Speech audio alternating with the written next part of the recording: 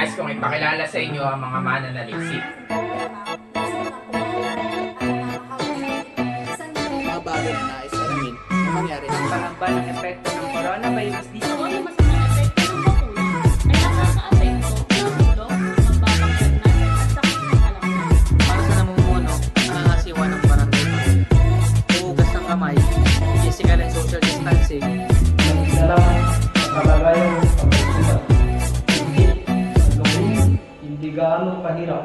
status tungkol sa epekto ng 30 katao ang magiging respondente at sila ay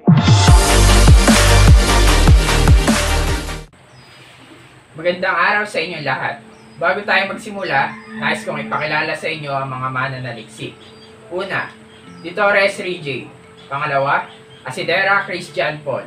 Sumunod, De Los Reyes J. Wold, Diamante Cheyenne, Gonzales Rachel Ann, Darian Bakay, Alcano John Mark Angelo, and Senyabo Mariano. Naririto ang presentasyon ng konseptong papel sa Signaturang Pilipino sa iba't ibang disiplina na may tiyak na paksang epekto ng COVID-19, malaking banta sa kalusugan ng mga residente ng mga taga Baruyan, Calapan City, Oriental Mindoro. Rational. Isang malaking problema nang simulang kumalat ang nakakahawang sakit na sanhi ng virus sa buong mundo. Ayon sa Department of Health, noong ika-31 ng Desyembre taong 2019, naitala ang ilang kaso ng pneumonia sa Wuhan, China. Napag-alaman kamakailan lamang na ang kaso ay dulot pala ng isang uri ng hindi pa kilalang coronavirus. Ang coronavirus na ito ay karaniwang sa hayop lamang matatagpuan at hindi pa nakita sa tao noon.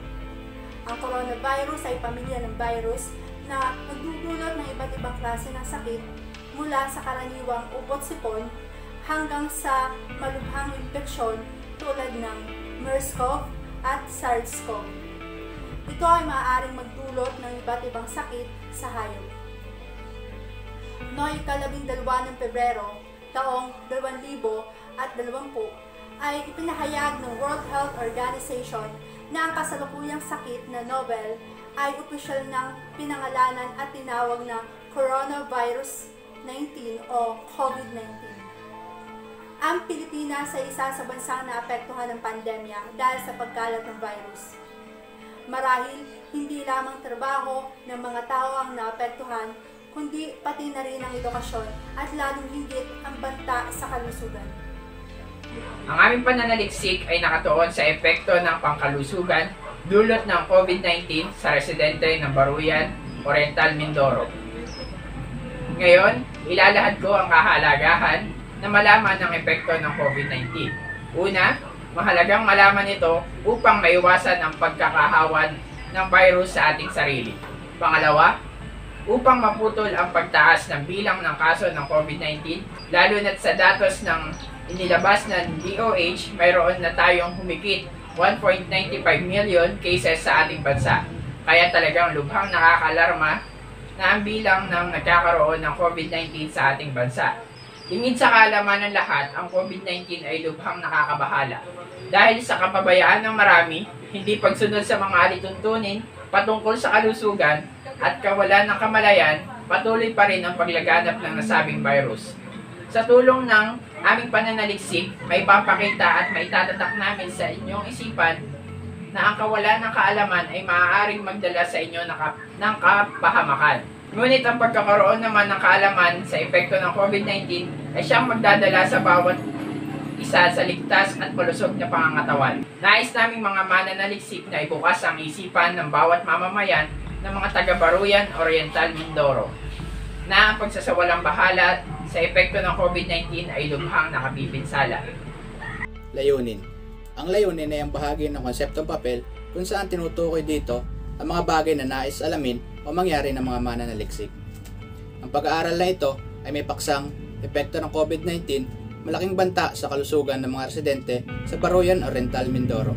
Sa makatuwid, nakatuon ito sa mga sumusunod na layunin. Una, malaman ang mga neg- negatibong epekto ng COVID-19 sa kalusugan ng mga residente sa Barangay Baruyan, Calapan City. Pangalawa, upang magkaroon ng ka- kahandaan ang bawat isa sa mga maaari o posibilidad na mangyari kakibat ng pagpapatuloy ng pandemya ng COVID-19. At pangatlo, tuklasin ang mga alternatibong pamamaraan upang mapanatili ang malusog na pangangatawan at matalas na isipan ng bawat residente ng Baruyan, Calapan City. Ang kalusugan ay isa sa pinakamahalagang parte at kayamanan sa buhay ng tao. At ito ay higit pa sa mga material na bagay na meron ng bawat isa na dapat ng pangalagaan. Tiktak-tiktak ang tunog ng panggalaw ng kamay ng mga orasan. Sa bawat pagtakbo ng oras, dala ng pangamba ng epekto ng coronavirus disease o COVID-19 na isang malaking banta sa kalusugan ng buhay ng bawat isa. Tunay nga na napakahirap ng sitwasyon hindi lang sa pisikal at emosyonal na pagkatao nakakaapekto, bagkos naaapektuhan na nito ang buong pagkatao ng lahat, kaakibat na ang pang-araw-araw na pamumuhay ng mga mamamayan. Kung ating mapapansin, itong pandemya ay sobrang nagdudulot ng kalungkutan sa mga matatanda at pati na rin sa mga bata. Lalong-lalo na sa mga taong mag-isa sa kanilang buhay at bahay. Tunay ngang malaki ang naging epekto ng coronavirus disease o COVID-19 sa buhay ng tao saan mang panig ng mundo. Naririyan ang mga tanong sa isip ng bawat isa kung may pag-asa pa ba na ito ay matapos o magwakas. Madami ang nangangamba, nalilito, natatakot kung anong mangyayari sa kanilang buhay. Sa paglipas ng araw, buwan at taon, masasabing mahirap ang pinagdadaanan ng bawat isa simula nang dumating ang COVID-19 Nandiyan ang pagpasok ng enhanced community quarantine, pagkakaroon ng lockdown sa iba't ibang lugar at bansa. Maraming tao ang nahihirapan, lalo na nang mawala ng kanilang pagkakakitaan o trabahong siyang dahilan ng kanilang ikabubuhay.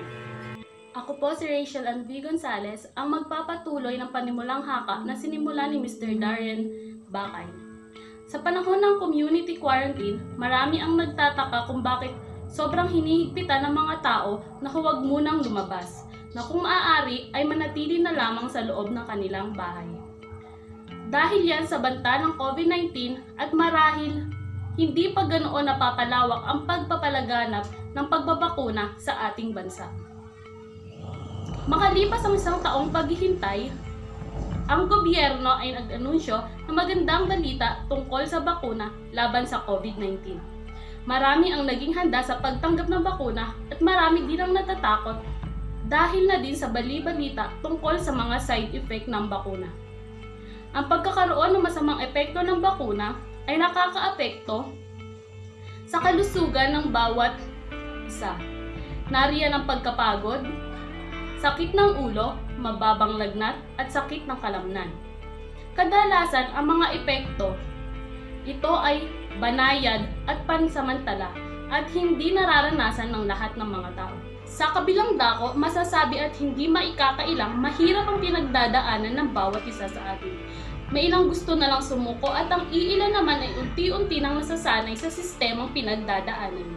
Kaya't bilang tugon sa napapanahong issue, napagdesisyonan ng mga mananaliksik na gumawa ng isang pag-aaral upang malaman ang epekto ng COVID-19 sa kalusugan ng mga residente ng Baruyan, Calapan City, Oriental, Mindoro. Nang sa gayon ay makapagbigay ng suhestyon at rekomendasyon na maaaring magamit upang malaman ang mga nararamdaman ng bawat mamamayan ukol sa COVID-19 vaccine. Yun lamang po at maraming salamat. Magandang araw po sa ating lahat. Ako po si John Mark Alcano ng 2B2 Electrical. Maganda at payak ng pag-aaral na ito sa nabanggit na layon nito na may posible at positibong magandang maidulot sa residente ng Baruyan na makakatulong sa malaking banta sa kalusugan ng mga residente nito.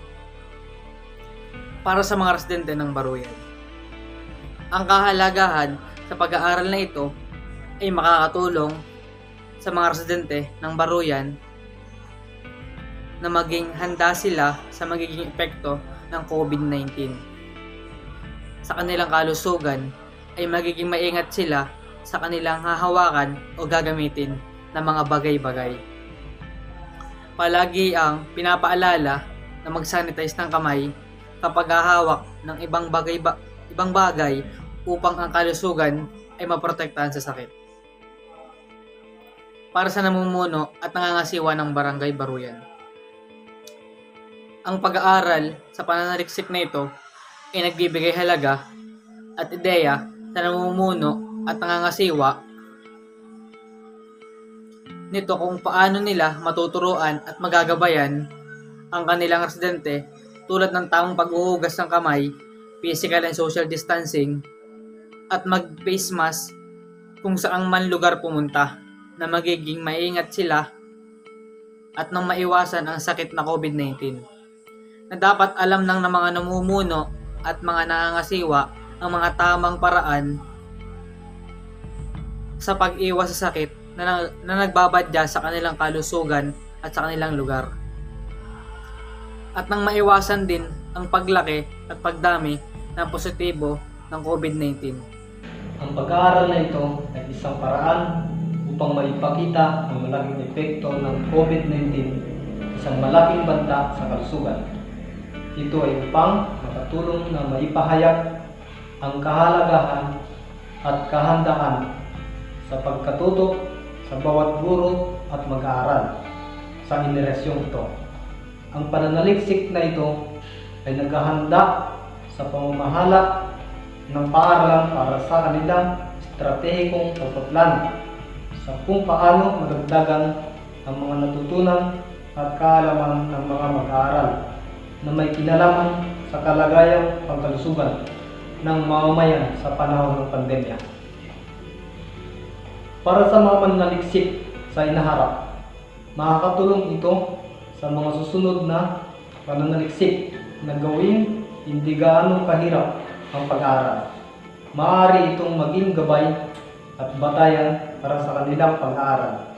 Ito rin ay nagbibigay ng tiyak na impormasyon na makakatulong upang maisagawa ang gagawing pananaliksik.